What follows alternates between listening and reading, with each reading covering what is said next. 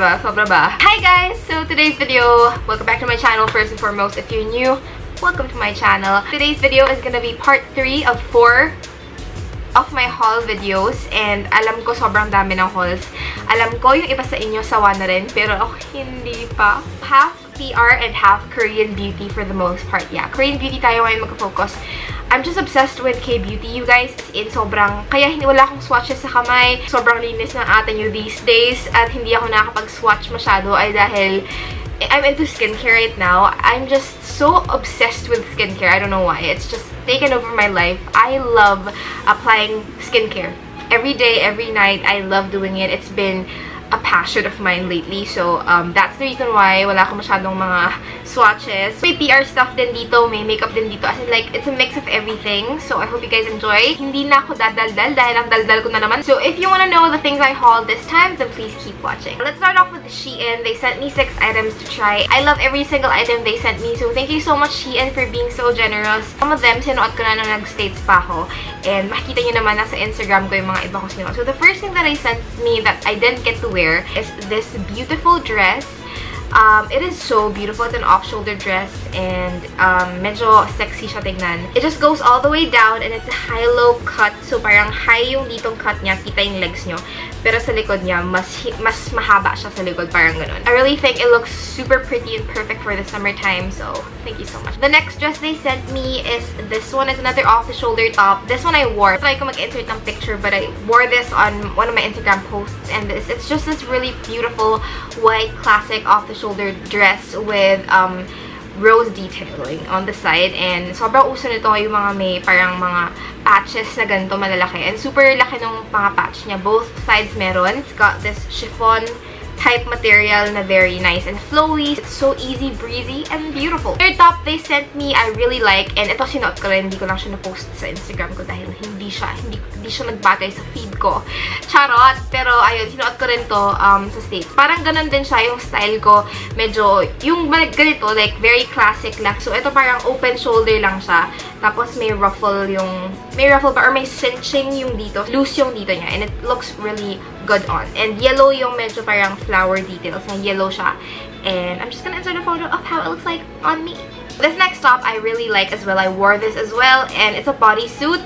So, one piece lang siya. And I really like it kasi I can wear it with high-waisted anything, basically. Tapos, hindi na ako uh, mahihirapan na parang ituck in siya. Hindi na ako mag-worry na baka matanggal yung t-shirt. Kasi di ba minsan pag hindi siya one piece, mabilis siya matanggal. And ito, maganda siya kasi one piece na siya. So, parang secure siya doon. Ruffled top na may mga kung ano-ano mga may flowers and all that jazz. So, I really thought this was really cute. Actually, bagay siya sa outfit. Bagay siya sa earrings ko ngayon. Parang, ang nice and it's very summery. So, I got this. They also sent me a pair of um, high-waisted jeans, basically. And they go all the way. And meron siyang flower details sa baba. And medyo parang distressed yung sa bottom niya. So, I don't know how to describe mga damit. Kasi parang ako naman, di, di talaga ako parang technical sa mga terms pag when it comes to damit. Again, yung flower detail na naman. Pag ako talaga bumibili ng damit, as in a trend, as in, kung gusto ko ng kunwari, summery, summery talaga yung um, yung theme ko. Tapos kung gusto ko kunwari ng colorful, colorful. And I enjoy wearing this actually kasi it's comfortable yet it's so high quality. Makikita nyo naman, hindi siya pipitsugin lang. So that's what I appreciate about this thing. The last thing they sent me is this bag. Again, going on with that patched embroidery thing. Um, I think know, ang classy niya tignan guys. And sabi ko nga sa inyo, yung gusto kong bag, bags, yung mahahaba yung parang, tawag dito, mahaba yung handle. Handle ba tawag? Teka lang, grabe. This is not spacious, but you can fit your essentials in here, so Again, it's really pretty bag. Thank you so much, Shein. Super na-enjoy ko naman yung mga things na sila nila sa akin. Teddy Blake, um, if you guys don't know Teddy Blake, parang gumagawa sila ng bags. They contacted me and asked me if I wanted to try one of their bags. Teddy Blake makes amazing high quality, and I mean like high quality bags that's surely gonna last you a while. So this is what I chose kasi pinapili din nila ako. I believe this is called the Vanessa 12 um, leather bag. It's in dark blue kasi parang feeling ko, wala akong dark blue na bag kasi hindi ko siya binibili pag ako yung bibili ng bag. Even though, sabi ko, hindi nga flattering or hindi ako sanay sa ganitong bags. Well, masusuot ko naman siya na nakaganito lang. And parang, ang social tignan, di ba? Kung minsan meron kayong family reunion. If lang gusto ko magmukhang, you know, shala or parang social, meron akong bag na parang, hello, ito yung bag ko, girl. Super ganda, so sturdy, it's so big, so spacious, and also, um, really great for work. If ever I choose to work, edi it may bag na ako for that. It smells so good. It smells like real leather. You can fit your laptop inside, your books if you're studying, or like folders if you're working. You can fit basically even yourself in here, and I'm not even kidding. It's so sturdy, and I feel like it's gonna last me a while. So thank you so much, Teddy Blake, for my new bag. I love it! Thank you so much! Guys, binigyan ako ni Miss Sally ng super daming lipsticks na, oh my god, sobrang na-overwhelm ako nung nakita ko tong package. Super thank you, Miss Sally, for always spoiling me and for always just being so generous. I really appreciate it. I think this is like a more or less a full collection of yung Caradium and Puka collection. I'm gonna try to show you guys kasi parang three kind yung binigay niya sa akin. Ito yung first kind na pinadala niya. Wala naman nakasulat actually dito. I know it's from Caradium and Puka. And these are lip tints. So, she sent me five colors. Kung makikita nyo, sobrang cute ng packaging. As in, may literal na Puka talaga sa packaging, guys. Sobrang cute niya. And kung di nyo kilala si Puka, sobrang childhood ko yun guys, puka everything. Pating buhok ko puka. Nag-puka mode yung buhok ko dati as in solid. She sent me the shades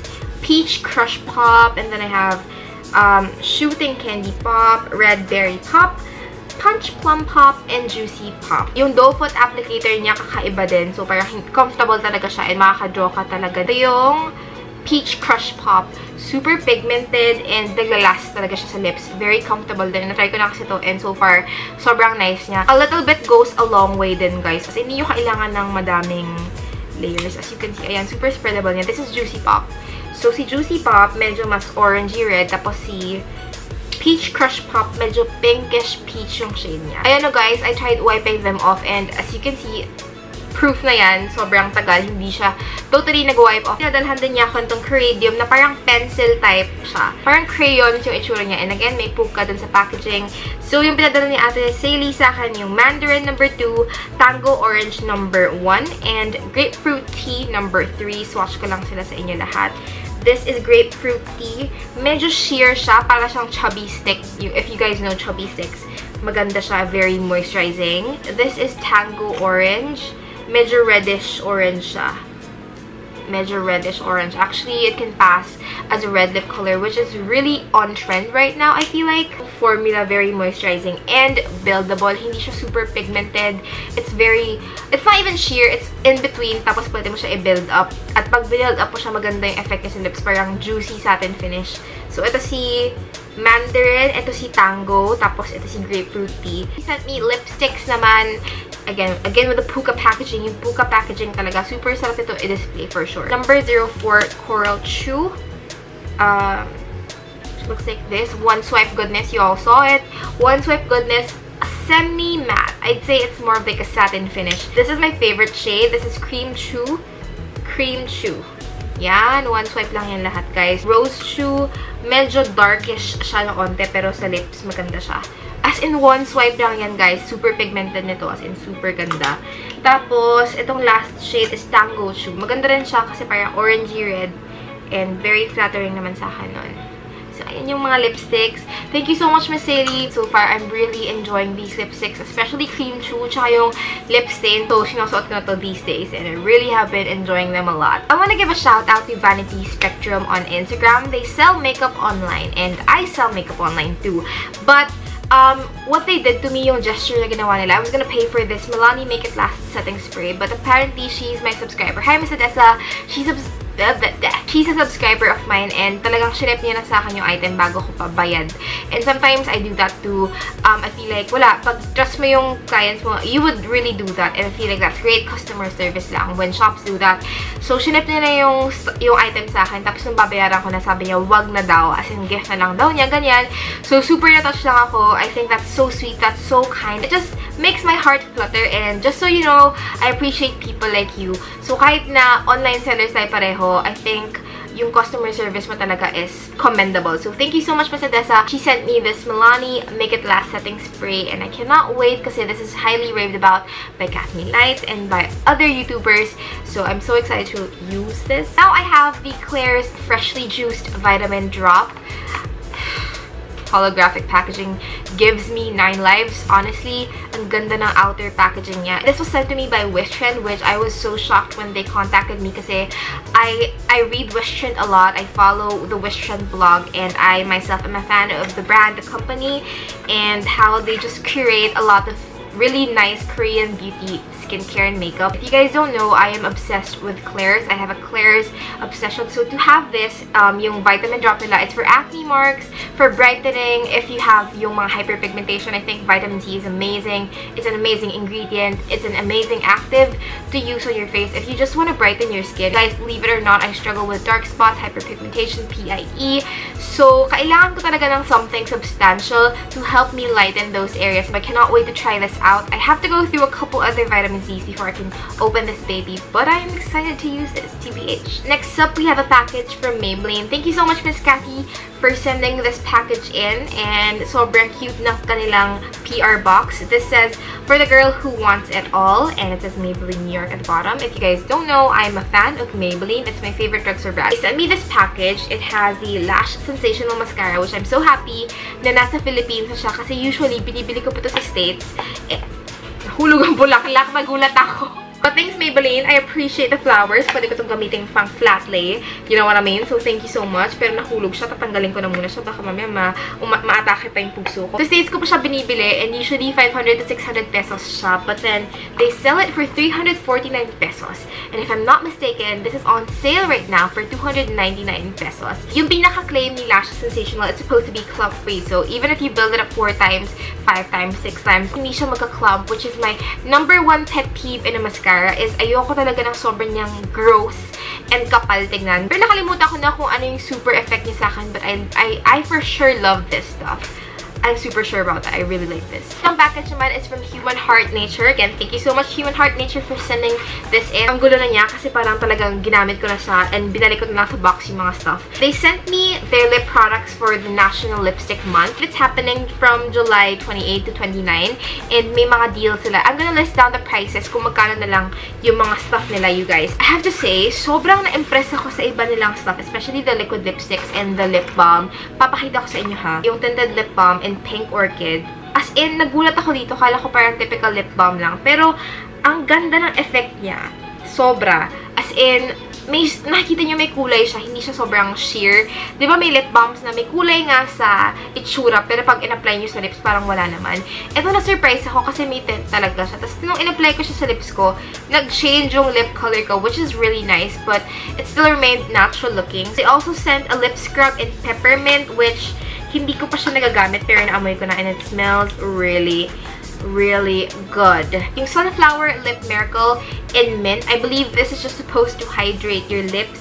Um, it says, seal and rich hydration for velvet soft, healthy looking lips and quench dryness with the moisturizing marvels of sunflower oil, supposedly to hydrate the lips. So that's great. Mineral Color Lipstick in the shade Passion Candy. I really appreciate na yung mga sinend sa akin na colors everyday shade. So, thank you so much for that. Kasi, talagang masusuot ko. Ayun yung itsura niya. Yung packaging niya sobrang substantial and sturdy.